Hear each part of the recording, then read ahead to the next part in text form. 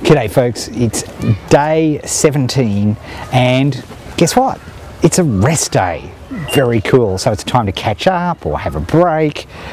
Do whatever you want. Smoke them if you got them. Not that smoking is bad. Remember that, kids, particularly homeschoolers, smoking is bad. I've never smoked anything in my life. Nothing has passed these lips of a cylindrical type nature at all ever. Smoking's bad, kids. Just a community service announcement. But what I actually wanted to tell you about was I wanted to um, I wanted to remind you to check your stats and also to remind you that remember those things we about participating in the forums, about putting together all this sort of uh, all of these different things that we've been doing. You can do more of. I think the pelicans are going to attack. When pelicans attack, I'm not food fella, honestly. So, I want you to have a rest, and if I get out of here alive tomorrow, we're going to change tack and we're going to do it spectacularly.